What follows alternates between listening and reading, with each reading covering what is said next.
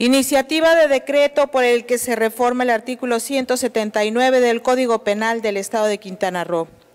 Con el permiso de la mesa directiva, compañeras y compañeros diputados, trabajadores del Poder Legislativo aquí presentes, medios de comunicación, todas y todos los ciudadanos que nos ven a través de las diferentes plataformas digitales de este honorable Congreso del Estado de Quintana Roo. Este 2023 iniciamos con una legislatura de la cultura de paz y en armonía con esta, quiero mencionar lo siguiente. Recientemente se han dado a conocer varios casos de maltrato animal y de zoofilia en la región, situación que ha causado indignación. Pero ¿saben qué es la zoofilia?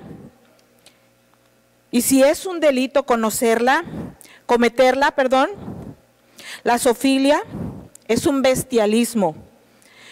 Contempla la participación involuntaria de los animales de manera sexual con los humanos. Consiste en la realización del acto sexual entre un ser humano y un animal las personas que sienten afinidad o atracción sexual hacia los animales son conocidas como zoofilos, zoofílicos, zoosexuales o simplemente zoos.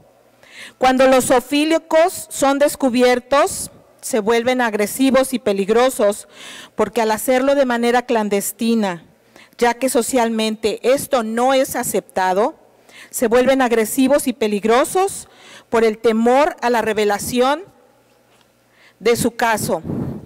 Quienes lo hacen pueden padecer de zoonosis, que es una enfermedad de los animales transmitido de los animales enfermos hacia los humanos. En nuestro estado, a dos meses de iniciar el 2023, ya tenemos tres denuncias de abuso sexual a animales. Entre ellas, uno de los casos en la comunidad de Sergio Butrón, casa de Otompe Blanco. El culpable ya fue encarcelado con una pena mayor de dos años, trabajo que se ha estado dando seguimiento desde la sociedad civil, con una servidora, con el municipio, la fiscalía y el Poder Judicial. Esto significa que cuando hay voluntad de las partes, los resultados son favorables. Es por esto que existen normas jurídicas que hacen que los seres humanos respetemos este derecho natural de los animales y a la vida y la salud. Y de no hacerlo, debemos ser castigados. Como ejemplo, tenemos el artículo primero de la Ley de Protección de Bienestar Animal en el Estado que menciona lo siguiente. El Estado de Quintana Roo tiene por objeto cuidar y proteger a los animales, garantizar su bienestar, brindarles atención, buen trato, manutención, alojamiento, desarrollo natural, salud y evitarles el maltrato, la deformación de sus características físicas y asegurar la sanidad animal y la salud pública.